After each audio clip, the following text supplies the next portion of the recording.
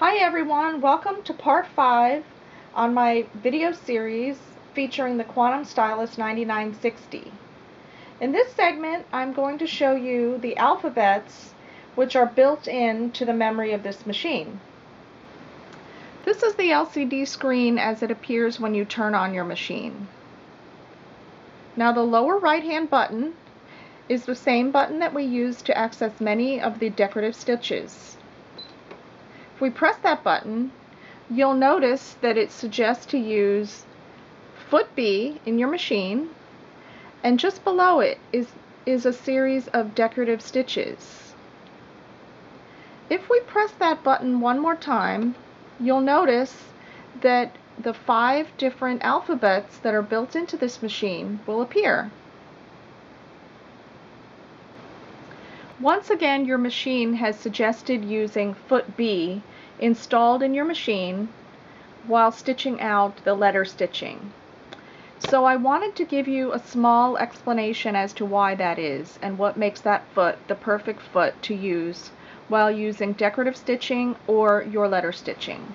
Now here is foot A, which is your general purpose sewing foot, what is used for regular sewing, for utility sewing, any simple sewing that you would do.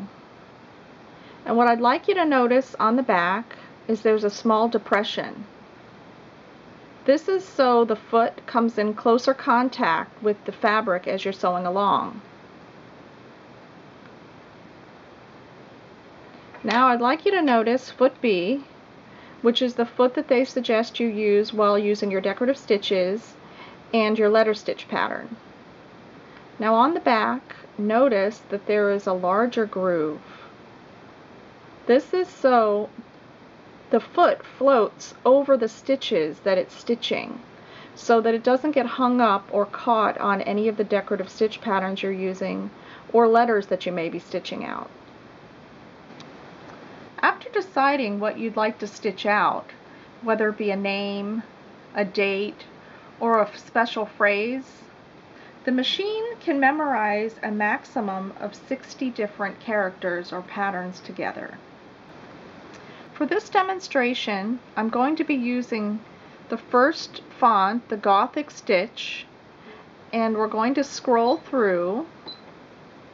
I'm going to stitch out the word stitch using the capital S, scrolling over to the lowercase t,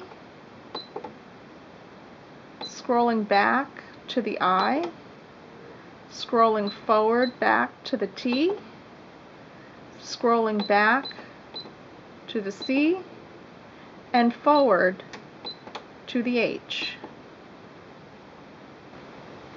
Next I'd like you to notice the third row of buttons down.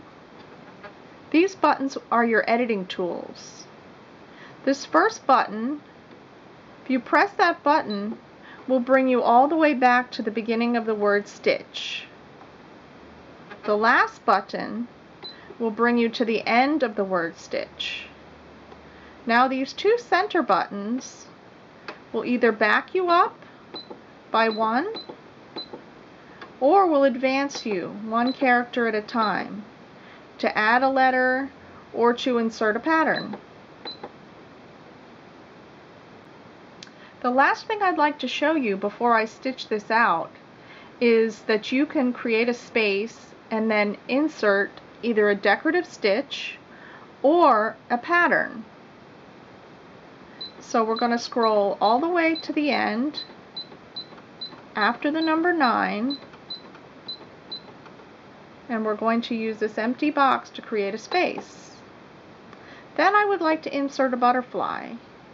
So we will go to the bottom right hand button again, scroll through all the fonts until we get back to the decorative stitch menu. And now we're going to scroll through to the butterfly and insert a butterfly at the very end. For stitching out this test pattern, I prepared a piece of poly cotton woven fabric and I've used bonded fusible interfacing on the back. When doing any kind of decorative stitching or letter stitching, it's always a smart idea to interface your fabric. It will help you avoid any kind of puckering and will help make your stitches look more professional. Now let's drop the presser foot and stitch the word stitch.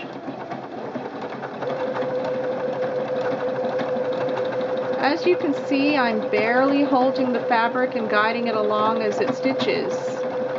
And that's because this machine has a box feeding system, which is very smooth and pulls your fabric along very evenly.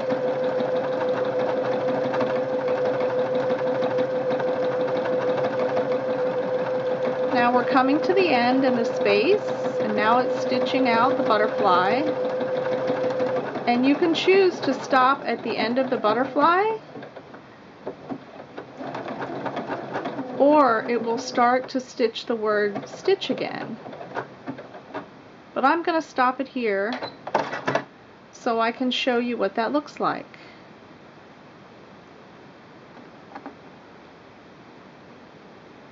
Now if you notice between each of the letters there's a little tack stitch or a jump stitch. And if you just snip in between those and cut them apart, your word will look nice and clean and neat.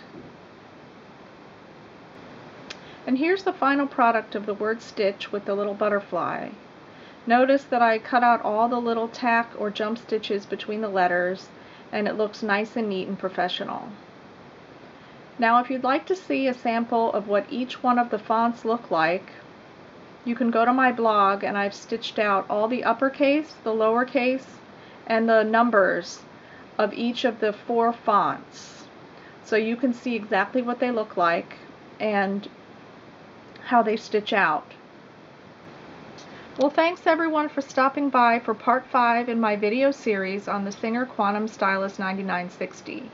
I always appreciate your emails, messages, and any comments you leave me and especially when you request something in particular that you would like to see me do a video on. So have a happy creative day. Bye now.